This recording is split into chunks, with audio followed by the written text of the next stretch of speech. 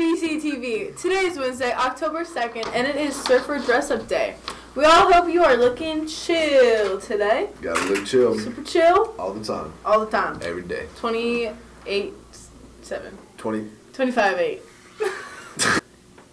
Today is our famous lip syncs. I'm in it. You gotta go. It's gonna be great.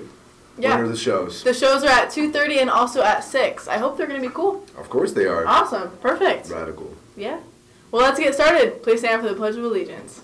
I pledge allegiance to the flag of the United States of America and to the republic for which it stands, one nation, under God, indivisible, with liberty and justice for all.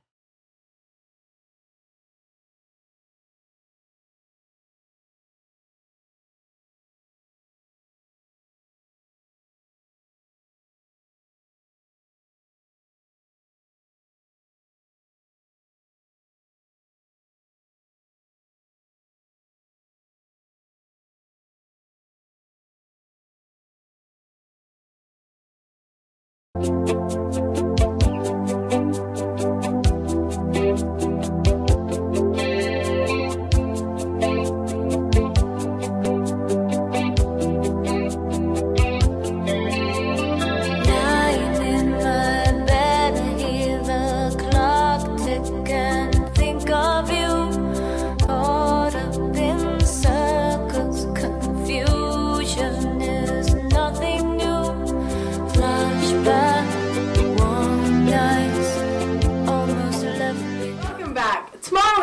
in the Sand, so make sure to wear your sandals.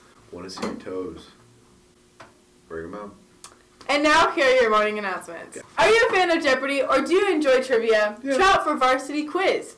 We will have an informational meeting on Monday, October 7th at 1.30 p.m. in room 816. 816. 816. See Coach Stamkopf for more information. Gotta get that information. Weber State University will be on campus October 8th at 8.30 a.m. Please see, 8:30 a.m. please see Ms. Lily in the counseling office for a pass. Homecoming is October 5th. You get asked out yet? No.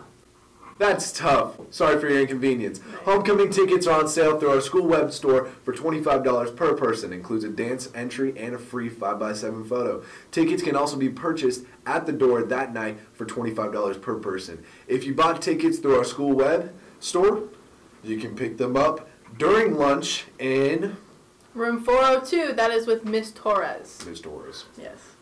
Attention seniors, the annual college information and financial aid night will be held tonight. That's tonight. I didn't know that. You know, you No. got. You're, go. you're a senior. I so- senior. That's tonight, August 2nd, 6 p.m. at Northwest Career and Technical Academy. Local colleges and universities will be there, available for information and application help, and also FF. And also, F. Ah, F A F S A. help. Help. This is a great time to get your applications done with the help from colleges. Students and parents are invited to attend. It's a lot of help. Go get it. Go get your. Go get some help. go, go get some help.